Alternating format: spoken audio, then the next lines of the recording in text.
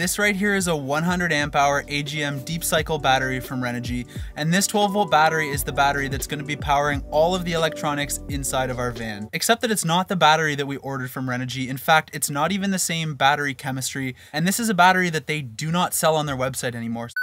When we originally filmed this video, we had ordered a 100 amp hour Renogy lithium iron phosphate battery. After a month of poor communication with Renogy and not receiving the battery, we've decided to cancel our order with Renogy. All the other products we've received from them so far work perfectly fine, but unfortunately, just with the lack of communication, we didn't want to continue to pursue using their batteries. So instead, we reached out to Connor at Lynac and decided to order a 200 amp hour True Series lithium iron phosphate battery from him. This video isn't sponsored by Lynac or Renogy, but we just wanted to give a huge shout out to Lynac for making our lives a lot easier and bringing power to our new van home. Connor is based out of Thunder Bay, Ontario, which is really close to home, and in a year where it matters most to support small businesses, we couldn't be more excited to be working with someone from our own home province. Now, if you know anything about 12 volt batteries, you would understand why we chose lithium. There's a couple main reasons. Lithium batteries do not suffer from voltage drops under load, which make them highly efficient for use with things such as an induction or high power devices. Lithium also have a much longer lifespan, which is beneficial for us because we'll be able to keep this battery for a longer period of time without having to replace it, which is better for the environment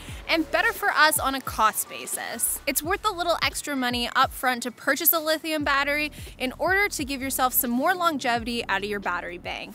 Oh, and did we mention they also weigh a lot less? Today we are going to be using this battery right here to test all of the electronics inside of our vehicle and then we're going to get to a little bit of van wiring because I know that there's a lot of questions around 12 volt systems for vans. But before we get to that, I just want to talk about how we're planning on getting household electrical power inside of our van. We've purchased a 2000 watt inverter from Renogy. That's going to give us all the power we need to charge our phones, charge our laptops, and run the induction that we are planning on running inside of our van. This 2000 watt inverter came with multiple 4 gauge cables that have been crimped together, which gives us the equivalent of a 2 aught cable, and it looks like it's pretty high quality multi-stranded copper. It's come with the 2000 watt inverter from Renogy, so we are gonna go ahead and use that because 2 aught cable is rated for 200 amps, which is essentially what this 2000 watt inverter can draw from a battery if you max it out. We are gonna make sure this inverter works as advertised to make sure that we don't have any problems later. So I'm gonna go ahead and connect to the positive and negative terminals of the battery. I've already connected to the positive and negative of the inverter. Be very careful not to cross terminals because that is how you can end up with a short and fry out your electronics electronics. So once I connect the positive, we're good to go ahead and connect the negative terminal of the battery, which will complete the circuit, and we'll turn the inverter on. I had to put a toque on, it's really cold out here. It is December though. Oh. We have completed our circuit now. We can go ahead and turn on the inverter, and I'm gonna plug in my iPhone to make sure that it's actually working. So when we turn this inverter on, we should get a green light, and then I'm gonna go ahead and plug in my iPhone charger and see if it charges my iPhone. That is a good sign. We have one green light and it's beeped only once. And we have a charge. That is a very, very good sign. That means our 2000 watt inverter should be good to go. Outlet number two works. And outlet number three works. Now, one thing that will make our life a little bit more comfortable compared to when we lived in the minivan is actually having this full-on 12 volt power system. There's a lot of things that we're gonna be able to do now because of this power that we didn't have before. We are gonna have two USB charging stations in 12 volt, which we haven't purchased yet. But this van is gonna have pot lights. And these little LEDs are rated for three watts, but they are surprisingly bright. I went ahead last night and tried out my series wiring connection. Basically all I've done is wired all the positives and all the negatives together. What I've done is taken some extra 16 gauge wire here so I can drop them into the battery terminals. Do not do this at home. I don't recommend it nor would I ever do this in the actual wiring of the van because these uh, this is just not safe. But I'm gonna be using my alligator clips to clip on some 16 gauge wire that we were working with yesterday and then drop it into the battery terminal. That didn't work. and when you're dealing with 12 volt, you'll always wanna connect your positive into your terminal first and then your negative. These lights here are actually really bright. I'm really impressed for three watts.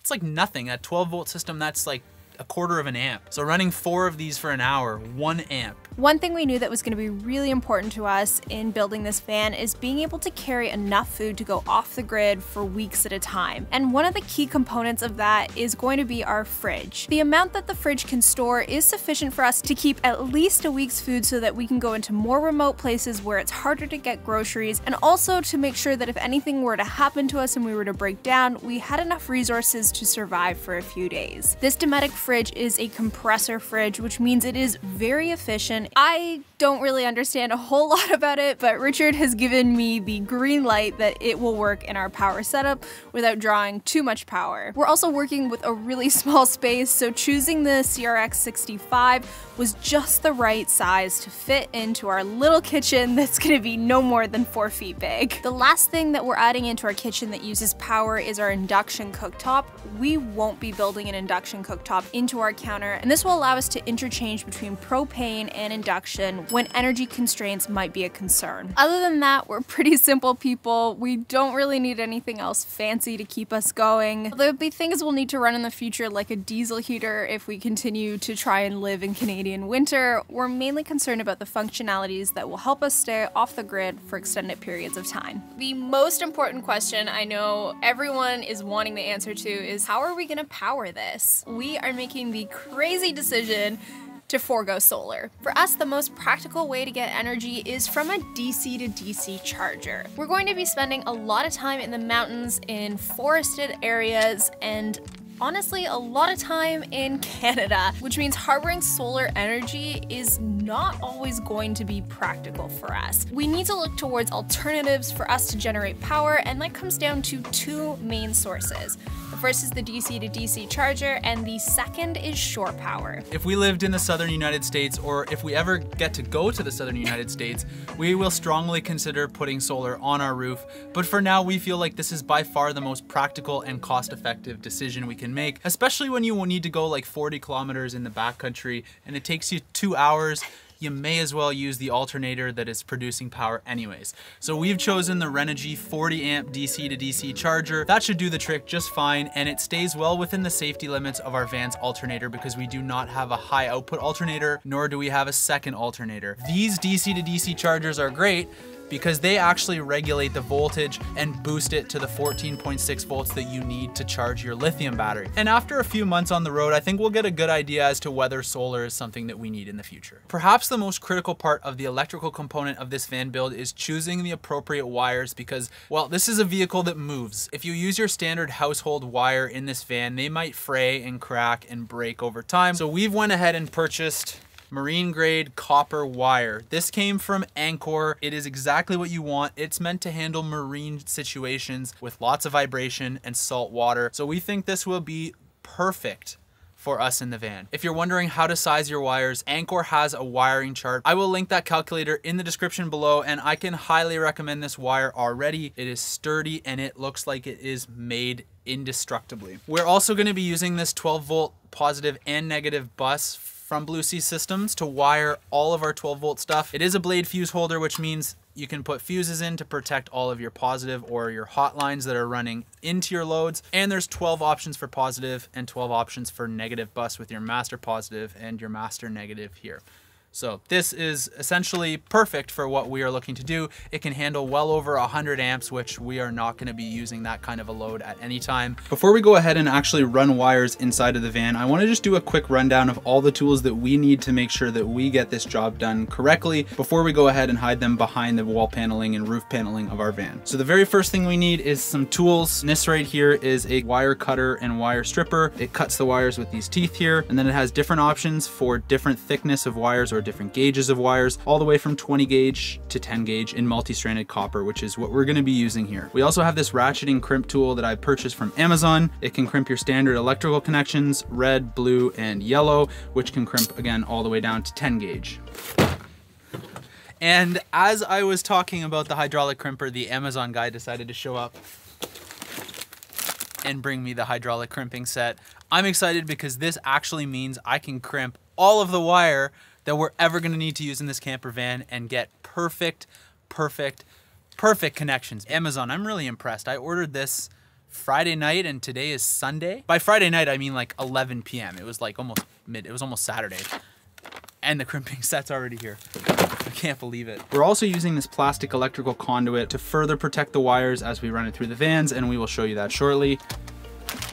And we've also purchased a bag of zip ties. This is pretty straightforward. It's just to keep the wires into the ceiling so that they can't rattle around and potentially get damaged in the roof of our van. We also have some standard electrical terminal kits. This one here is just standard electrical terminals. We purchased this from Home Depot and it does from 22 to 10 gauge. And this kit here was purchased from Amazon, especially because these are what we call piggyback connections. They allow two other lines to connect onto the line that's crimped here, which means we can connect three lines together. And that's gonna be a big help when we're wiring our lighting. Now I've gone ahead and done some of the initial easy cabling here and run it through conduit across the ceiling stud there. But today I need to go ahead and finish the last of it, which is actually the hardest. I'm gonna be running a ground wire all the way to the Ford Transit's grounding terminal point over there. And I have to also wire a lighting setup for over our bed, as you can see right there. I've already used this stud to its full wiring potential. I've even created the connection here for the fan and I've run the wires to a light that's going to be right here and I've also run the wire to a USB socket that's going to be in the bench right here. So what I need to do now is use this stud right here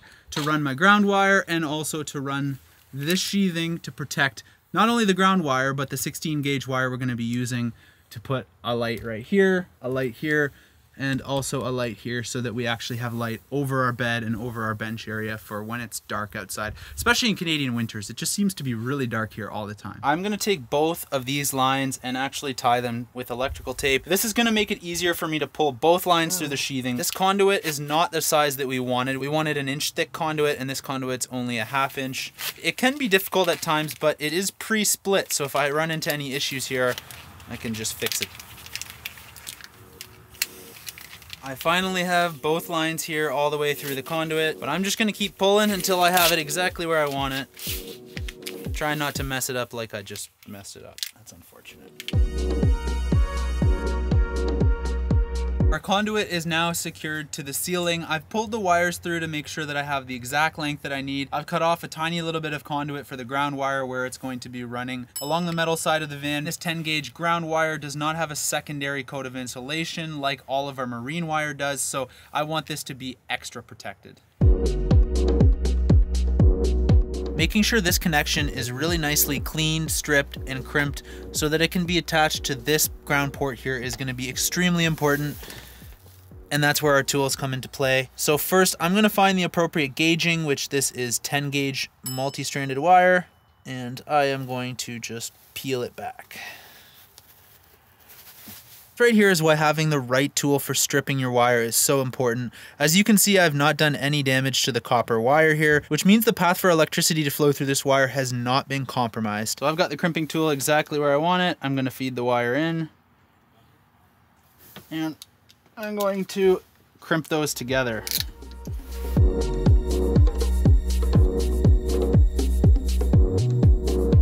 I'm really excited to get this part of the electrical done so that we can move on to some more vanity projects like putting up walls and roofs and cabinets and painting. Oh, fun stuff and I have one more job left to do, which is to splice into the lighting lines. We've decided to have three separate circuits. One circuit is gonna be in the kitchen under the cupboards, which I don't have to wire quite yet. The second circuit I've already run the wire for, which will have a switch by the door. And the final three lights are going to be over the bed, which is what I'm about to splice into. We are gonna be offering a preliminary wiring diagram in the description for this video, as well as the series wiring for our lights, just in case you're confused and have any questions about that. I'm also going to be offsetting the positive and the negative connections so that there's a much smaller possibility of a short happening. It's worth the extra safety precautions because we are going to be living inside of this thing after all.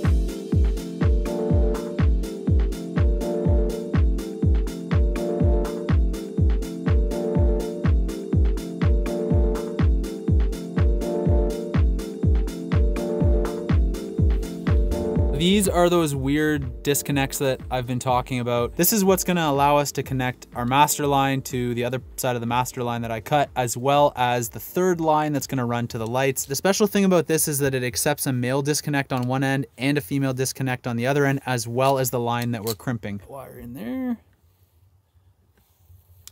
And crimper down. There we go. It's exactly what we want to see right there. So the tug test tells us this is a successful crimp. There's no way that's coming out, especially when we put electrical tape on it. Bingo, bingo. Perfect. Tug test agrees. I have carefully connected all the positives and all the negatives together. We've actually taped our lights up to the ceiling. This is just a little test run for us and I'm gonna go ahead and connect the negative and the positive here on my piggyback terminal. Well, here goes nothing. That's the positive.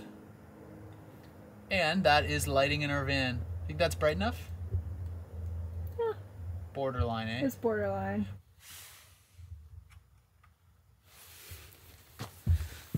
A special shout out to all our patrons for making these kinds of videos possible. I know this one was a little different than our usual one, but I felt like it was really important to address this electrical situation because it's something that, well, it's just not always explained that well on YouTube, and it's such a critical component of building a van out properly. Thank you guys so much for watching. Hope you enjoyed. Hope you learned something. It's starting to rain now, so I'm gonna get cleaned up in here, go in and have something warm to eat, and we will see you in the next video. Bye.